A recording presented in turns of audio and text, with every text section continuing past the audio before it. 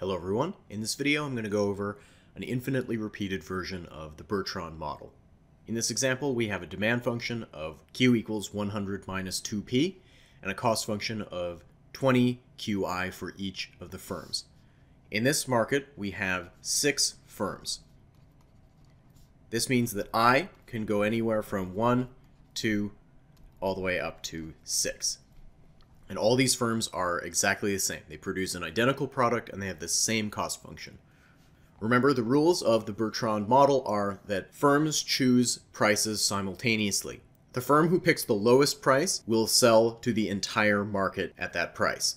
Everyone else will sell nothing. If there's a tie, then those firms who are tied for the lowest price will split the market equally. The first thing that we will look at is what would happen in our stage game if it is only played once. If it's only played once, then firms always have an incentive to undercut each other and take the whole market. That will continue and drive the price down all the way to marginal cost. The marginal cost here, of course, is the derivative of the cost function, which is just 20 for all of the firms. So in the one-shot version, our Bertrand price, I'll call that P Bert, equals 20. The market quantity is going to be 100 minus 2 times 20, which is 40, uh, gives us 60. That means that each individual firm will produce an output of 60 divided by 6, or 10. How much profit are they making? Well, the price is 20, marginal cost is 20, they're making zero on every single unit.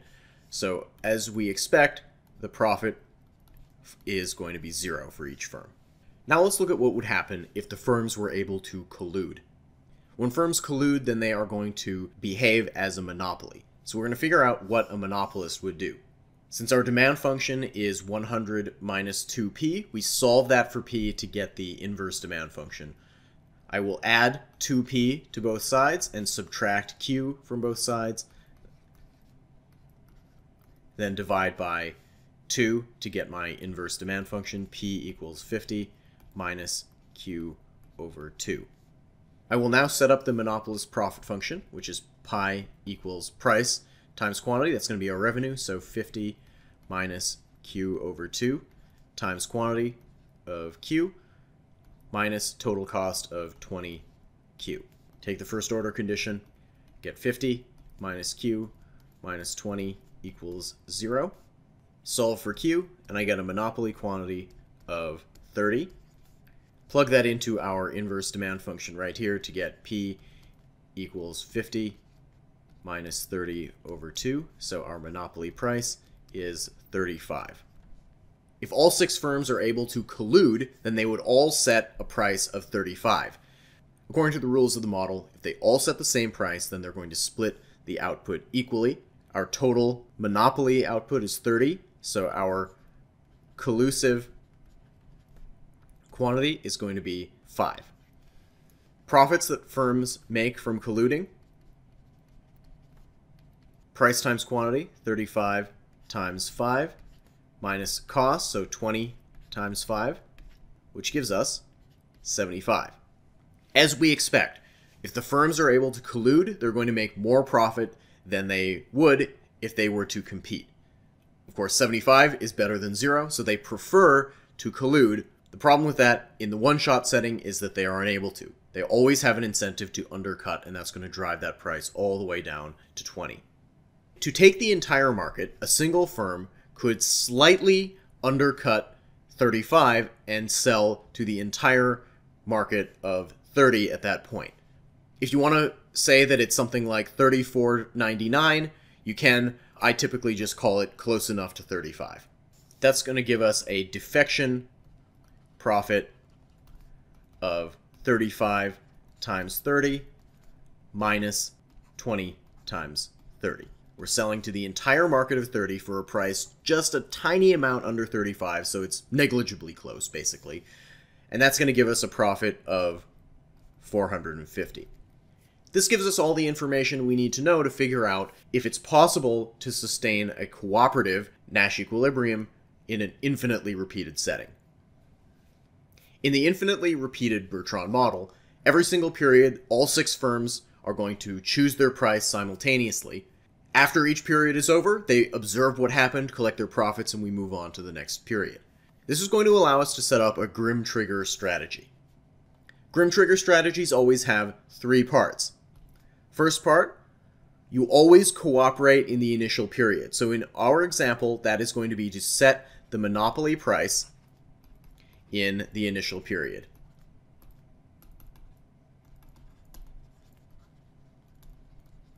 The next part of it is we continue to set the monopoly price of 35 as long as all other firms have also set p equals 35 in all previous periods. The final part of the Grim Trigger strategy says that we set the Bertrand price, which is P equals 20, if any firm has ever set a price other than 35. For any of the firms playing Grim Trigger, they're only going to set price equal 35 in the initial period and then any subsequent period as long as no one has ever deviated. As soon as one of the five does anything other than 35, then they're going to go all the way to 20 to punish them for all time. Now we want to see if all players playing the Grim Trigger strategy can support a cooperative Nash equilibrium. We're going to use these profits we calculated earlier to see what is the total present value of the payoffs for following Grim Trigger and for defecting. I'll use a big capital pi for our total value. So for colluding, that is following the Grim Trigger strategy, we're going to be doing 75 forever. According to the Grim Trigger strategy, you set a price of 35 initially. Everybody's going to do that, and we continue doing that as long as everybody else is. And if everybody's doing Grim Trigger, we're going to get that every single period, which is going to give us that 75 payoff every period. We'll get 75 now, and in next period we'll get 75, discounted by 1 plus r for the present value. Two periods from now, we get 75 over 1 plus r squared, and so on forever. This comes out to 75 plus 75 over r, based on our geometric series formula. Next, we figure out what happens if we defect. For defecting, we're going to get 450 initially. But then, what's going to happen? In all the subsequent periods, all the Grim Trigger players will punish you by setting a price of 20, and no one makes profit after that. So we're going to get 0 and 0 and so on forever. Which, of course, is just going to be 450. This means that collusion is possible in this model if 75 plus 75 over r is greater than or equal to 450. This means that by playing Grim Trigger, you cannot improve your payoff by defecting. Subtract 75 from both sides. We get 375. And now solve for r.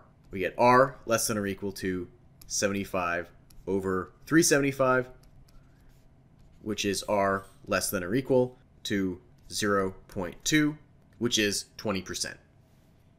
Remember that as the interest rate goes up, these future payoffs are worth relatively less. When the interest rate is low, those future payoffs are worth more. 20% is the break even point between getting 75 forever and getting that instant burst of 450. That is the cooperative Nash equilibrium in an infinitely repeated Bertrand game. If you have any questions, please let me know. Thanks for watching.